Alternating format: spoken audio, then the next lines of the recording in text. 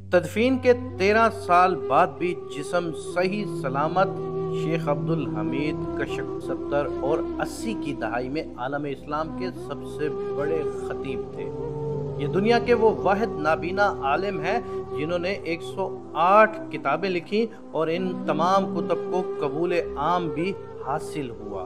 इनमें से एक दस जिल्दों पर मुश्तमिल तफसीर कुरान भी है, जिसका नाम फ़ी रजाब अल तफसीर है। शेख कशक 10 मार्च 1933 को मिस्र के इलाके शबरा खेस में पैदा हुए और उन्नीस में जुमा के रोज़ सजदे की हालत में उनका इंतकाल हुआ। दुनिया अरब में उन्हें फारस अल मनाबर यानी मिंबर का शह सवार और महामी अल हरकतुल इस्लामिया यानी इस्लामी तहरीक का वकील के लकब से याद किया जाता है। उन्होंने 40 बरस के दौरान 2000 तारीखी खुतबे दिए, मगर एक खुतबे में भी अरबी की एक गलती नहीं की।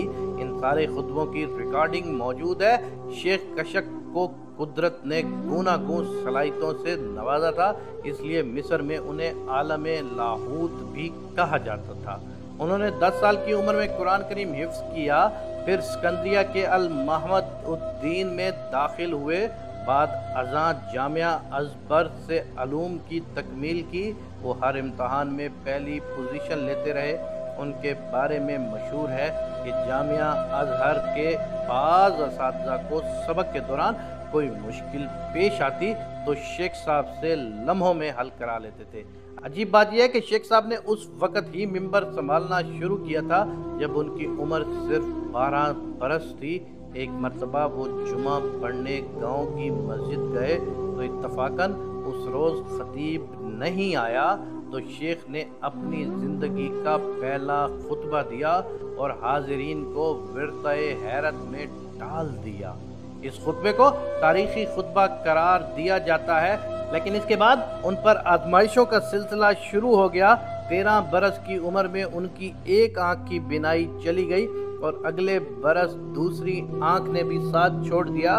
शेख कशक उन पर तबसरा करते हुए सैदना इब्ने अब्बास रज़ी अल्लाह का ये कौल दोहराया करते, अगर हक ताला ने मेरी आँख की रोशनी ले ली तो क्या हुआ? मेरे दिल में बसीरत का नूर मौजूद है। जाम अजहर से फरागत के बाद काहिरा के कई बड़ी मसाजिद में खतीब रहे। शेख साहब जैसे बहादुर बच्चों को बहुत कम माओ ने जन्म दिया है। हक गोई में अपनी मिसाल आप थे फिर जोहद में उनका कोई सानी न था।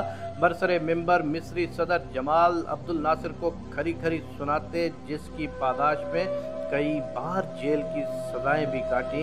जहाँ उन्हें नाकबिल बयान तशद का निशाना भी बनाया जाता रहा।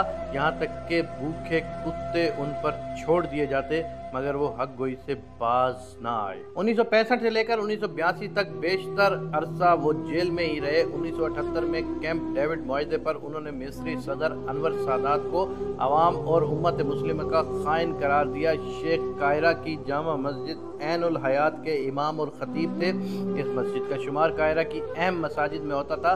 ज़िंदगी भर इस मनसब को संभालते रहे। लेकिन मिस्री आमर हुसनी मुबारक के पूरे दौर में वो पाबंदियों का शिकार रहे और उन्हें घर में नजरबंद रखा गया। इस पूरे दौर में उन्होंने सिर्फ़ एक खुतबा दिया, जिसने पूरे मिस्र को हिलाकर रख दिया। ये उन्नीस में अखवान मुस्लिमीन के मुर्शद आम उमर अल तलिस्मानी की तदफीन पर उनका तारीखी खुतबा था। शेख की वफात का वाक्य बहुत अजीब है। वो अक्सर दुआ करते कि मौला मुझे सजदे में अपने पास बुला ले। ये दुआ कबूल हो गई। ये 6 दिसंबर उन्नीस सौ छियानवे और जुमे का दिन था। जुमा से कबल एहलिया से कहा कि ख्वाब में मुझे जनाब नबी अकरम वसल्लम की ज़ियारत का शर्फ हासिल हुआ। आपके साथ सैदना उम्र फ़ारूक आज़म भी थे।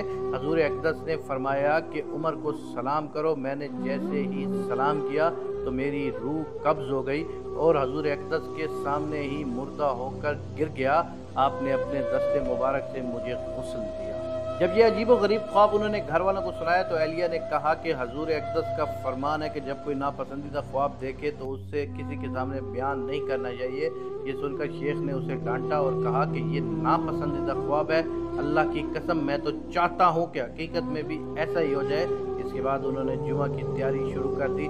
मस्जिद जाने से कबल दो रकात पढ़ने खड़े हो गए। पहली रकात मुकम्मल की और दूसरी रकात में एक सजदा किया और दूसरे सजदे से सर नहीं उठाया। घर वालों ने जाकर देखा तो रूह प्रवास कर चुकी थी। इसलिए मिस्र में कहा जाता है कि आश फारसा और मात साइदन यानी शह सवारी की ज़िंदगी गुजारी और सजदे में इंतकाल कर गए। ये 26 रजबुलमरजब 1417 हिजरी 6 दिसंबर उन्नीस सौ छियानवे, जुमे का दिन था। दिलचस्प बात यह है कि शेख की वफात भी जुमा के रोज़ हुई थी और उन्होंने उम्र भी इतनी ही पाई जितनी जनाब रसूल करीम की उम्र मुबारक थी, यानी तिरसठ साल। शेख कशक की वफात के तेरह साल बाद उनके बेटे अब्दुल सलाम का इंतकाल हुआ। उसे भी शेख के पहलू में दफनाया जा रहा था। कबर की खुदाई के दौरान शेख कशक की कबर खुल गई। उनके शागिर्द और मिस्र के नामवर आलम दीन शेख निशात अहमद कबर में उतरे। उनका कहना है कि शेख की कबर खुशबू से भरी हुई थी और उनका जिस्म बिल्कुल भी सही और सलामत और तजो ताज़ा था, जैसे अभी अभी दफन किया हो। यहाँ तक कि कफन भी ख़राब नहीं हुआ।